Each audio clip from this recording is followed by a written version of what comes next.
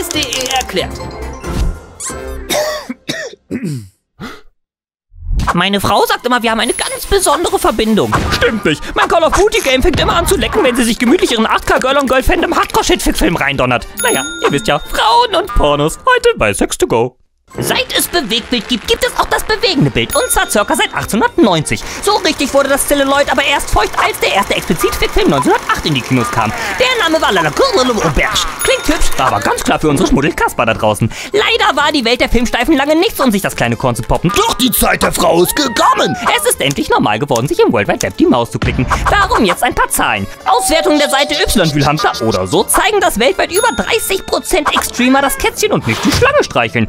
Spitzenreiterinnen sind dabei die Philippinas mit 38%, Amerika macht es sich auch endlich great again mit 28% und bei uns schauen sich immerhin ein Viertel Sexferkelin gerne mal eine Folge Breaking Bad an. Also, bist du eine Frau und bufferst dir gerne einen alleine, dann bist du nicht alleine. Unlogischer Satz, logische Statistik.